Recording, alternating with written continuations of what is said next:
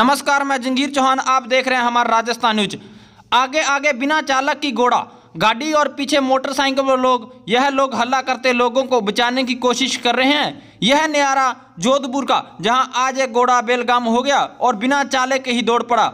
मशीनी युग में, जहाँ सभी चीज़ें ऑटो मोड पर चल रही हैं, वहीं आज जोधपुर में बिना चालक के तांगा गाड़ी का ऑटो मोड कोतूहल का केंद्र रहा, जहाँ बिना चालक के घोड़ा गाड़ी तकरीबन दो किलोमीटर दूर जा पहुँची।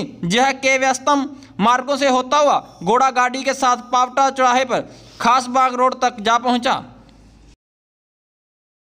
घर की ओर जा रहा था तो बीच पावटा चौराहे के पास तांगे वाला था।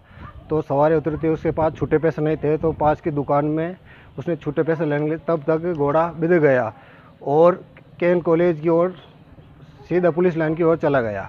तो बीच में से स्कूटर वालों को कोई जान मान की हानि नहीं हुई और वो सीधा पुलिस लाइन के पास तांगे वाले ने उसने पकड़ लिया। दो किलोमीटर तक वो चला था। तो सड़कों पर दौड़ता रहा पास में स्कूटर, कार, वो सब चलती रही, परंतु गनीमत रही कि घोड़ा भागता रहा और किसी को चोट नहीं पहुंचाई। और वह सीधे कैन, दो कैन कॉलेज और पुलिस लाइन के पास उसने, तांगे वाले ने उसको पकड़ लिया।